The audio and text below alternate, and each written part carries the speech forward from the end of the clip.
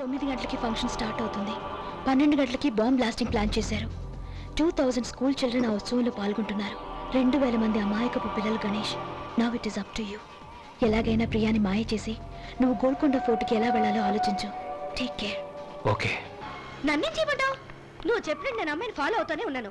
మధ్యలో ఎవడో డాష్ కొట్టాడు గ్రౌండ్లో మిస్ అయిపోయింది. సరే వదే జరిగిందేదో జరిగిపోయింది. ఇప్పుడు ఏం చేద్దాం? ఏంటి? ఇదిగో చూడండి మీరు అనుకున్నప్పుడల్లా పట్టుకోవడానికి వాడే మీ జీప్ స్టీరింగ్ కాదు మస్తాన్. ఏ ఇన్ఫర్మేషన్ కావాలన్నా రేపు పొద్దున్నే. అంతవరకు? చెప్పాను కదా నిద్రపోదామని. ఏ హోటల్లో రూమ్ బుక్ చేశారు? హోటలా? నిన్ను గాని హోటల్లో పెడితే అట్నుంచి అట్టే చెక్కేద్దామనా అదేం కుదరదు. మా ఇంట్లోనే ఉంటున్నావు. House arrest. పద.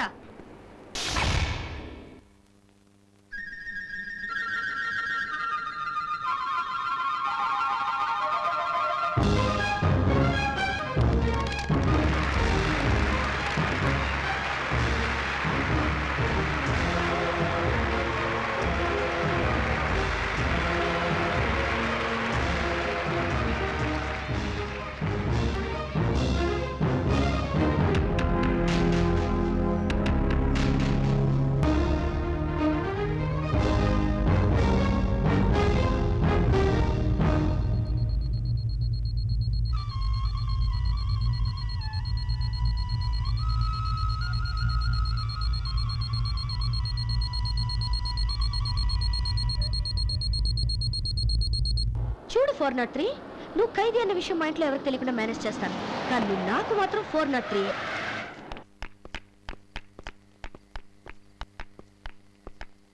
ఏమా ప్రియా గెస్ట్తో సహా వచ్చావు. ఎవరైనా? నా ఫ్రెండ్ బావా ఐపీఎస్లో నా బ్యాచ్మేట్. ఈ రాత్రికి మన ఇంట్లోనే ఉంటారు. దానికే ఉందమ్మా హాయిగా ఉండొచ్చు. ఆయన పేరేంటి? Four not three. Four not త్రీనా? అది ఐపీఎస్ బ్యాచ్ నెంబర్ చెప్తున్నారు బావా. నీ పేరు చెప్పొచ్చు కదా. గణేష్. బై గణేష్ నేను ప్రియ బావుని. ఈవిడ ప్రియ అమ్మమ్మ గారు. నమస్తే. నా భార్య. నమస్కారం. నమస్కారం. మా పిల్లలు. ఇది మా ఫ్యామిలీ. మరి మీ ఫ్యామిలీ? బావా అదంతా ఇప్పుడు ఎందుకు? అసలు ఆయన అలసిపోయి వచ్చారు. లెట్ హిమ్ టేక్ రెస్ట్ పదండి. ఫోర్ నాట్ త్రీయా నీ సంగతి తర్వాత చెప్తాను. ఏమే? అతను నీ క్లోజ్ ఫ్రెండా? అమ్మమ్మ నాకు ఆకలేస్తుంది. త్వరగా భోజనం ఏర్పాటు చేయి. నేను ఇప్పుడు ఫ్రెష్ అయ్యి వస్తాను. ఫ్రెష్? ఓ.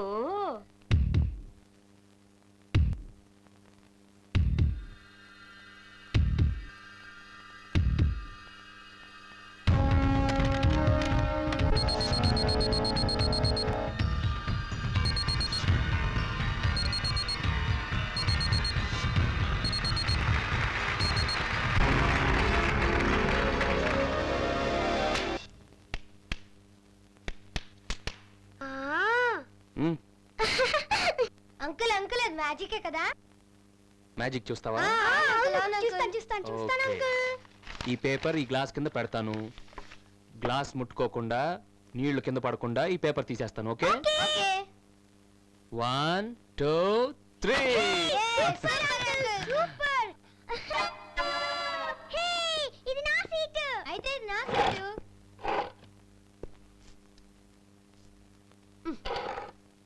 కూర్చో.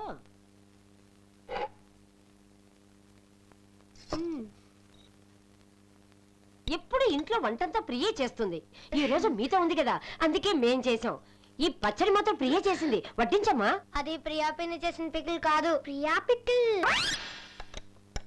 ఏదో మాకు తోచింది చేసాం వంటలు ఎలా ఉన్నాయో ఏమిటో. ఏం గణేష్ మీ ఇంట్లో వంటలు? రెండు వందల గ్రాముల రైసు రెండు అంశుల పులుసు. ఏమిటి? అదేమమ్మా డైటింగ్ గురించి చెప్తున్నారు. వాళ్ళ ఇంట్లో భోజనం అంతా సిస్టమేటిక్ ఇంతకీ మీ ఇల్లు ఎక్కడా? ముషీరాబాద్. పెద్దెల్లా? ఆరు వందల గదులు అరవై మంది సెక్యూరిటీ. అవును మరి. సంవత్సరానికి యూనిఫామ్స్కి అరవై వేలు అవుతుంది. కదా. అరవై వేల? అమ్మమ్మా మీరందరూ గడబడి మాట్లాడి ఆయన తినేయడం లేదు. మీరు తినండి.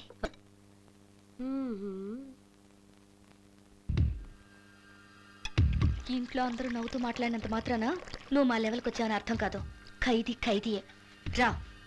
ఇది నీ ఇల్లు కాదు. ఇది కూడా నీకు జైలే. జైల్లో ఆరు గంటలకే పడుకునేవాడివిగా? వెళ్ళి పడుకో. ఇదిగో పొద్దున్నే ఆరు గంటలకు వచ్చి లేపుతాను.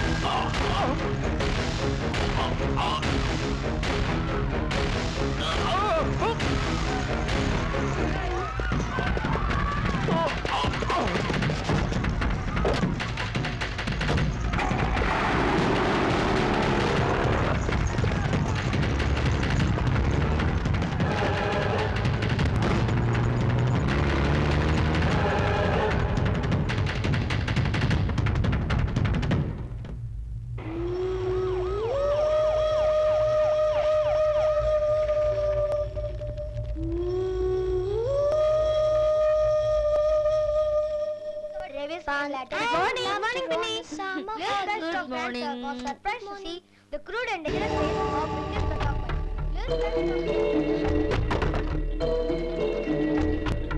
Bablu Ganesh uncle ఎక్కడా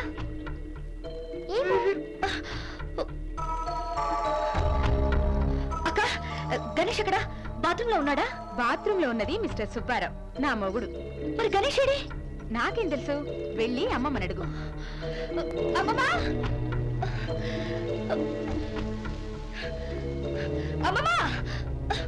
కంగారు గణేష్ ఏడి అవును పొద్దున్న నుంచి కనపడటం లేదు. బయటికి ఏమైనా వెళ్ళాడా? అది అసలే గణేష్ కనిపించట్లేదని ఇందాక నుంచి కలవరిస్తోంది. దాన్ని రెచ్చగొట్టుకే అమ్మమ్మ. నేను రెచ్చగొట్టడం అంటే పిచ్చిదానా? అతను వచ్చినప్పటి నుంచి చూస్తున్నాను. ఒక్క సెకండ్ కూడా వదలకుండా అతను చుట్టూ తిరుగుతూనే ఉంది. కావాలంటే చెప్పమను. పెళ్ళి చేసేస్తాను బుద్ధుందా మీకు? ఒక అబ్బాయిని ఇంటికి తీసుకొస్తే నేను మొగుడు కోసం అల్లాడుతున్నట్టేనా అసలు అతను ఎవరో తెలుసా మీకు? ఎవరే అతను? నీ క్లాస్మేటేగా సడన్గా ఇంటికి తీసుకొచ్చావు. వచ్చిన దగ్గర నుంచి కొత్త పెళ్ళంలా చుట్టూ తిరుగుతూ కబుర్లు చెప్తున్నావు. ఇదంతా చూసి మేమేమనుకోవాలి ఏంటక్క? అమ్మ మీద అర్థం లేకుండా మాట్లాడుతుంటే నువ్వు కూడా? అసలు మీరు అనుకున్నట్టు అదేమీ లేదు. ఏం లేదమ్మా అతనికి. అందం లేదా చదువు లేదా లేకపోతే స్టేటస్ లేదా? ఇంకా ఎందుకమ్మా దాస్తావు నీ మనసులో ఉండి చెప్పేసే. అమ్మమ్మ మీరందరూ అనుకున్నట్టు అతను నా క్లాస్మేట్ కాదు. మా జైల్లో ఒక్క ఇది. మస్తాన్ని పట్టుకోవడానికి హెల్ప్ చేస్తాడని నమ్మి బయటకు తీసుకొచ్చాను. మంచి వాళ్ళ నటించి నన్ను మోసం చేసి పారిపోయాడు. చీట్. ఖైదీ బుద్ధి చూపించాడా? ఎన్ని అనుకున్నాను? ఎంత నమ్మాను? నా దగ్గరే ఖైదీ బుద్ధి చూపించి నమ్మక ద్రోహం చేశాడు. చిన్న వాక్ వెళ్దామని అలా రోడ్డు మీదకి వెళ్ళాను. పేపర్ చూస్తే మస్తాన్ చనిపోయిన వార్త పోలీసులు నేనే రమ్మన్నాను. మస్తాన్ చనిపోతే నేనెందుకు అనవసరంగా? అందుకే వెళ్తున్నాను మీరు తర్వాత వచ్చి డ్యూటీలో జాయిన్ అవ్వండి. అమ్మా మీ అమ్మాయి చెప్పింది నిజం. నేను కేవలం ఖైదీని. అయినా నన్ను కూడా మనుషులు ఆదరించి ఇంట్లో ఆశ్రమించి సొంత వాడిలా చూసుకున్నారు.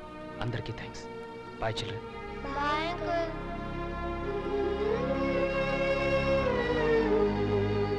నీకు హెల్ప్ చేయడానికి జైలు నుండి బయటకు వచ్చాడు పారిపోయే అవకాశం ఉండి కూడా సిన్సియర్గా పోలీసులకు సరెండర్ అయ్యాడు.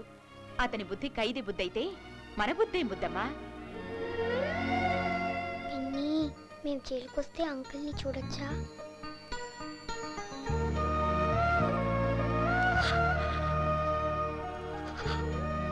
అంకుల్ని కూడా ఇలాగే పట్టుకో. వదలద్దు.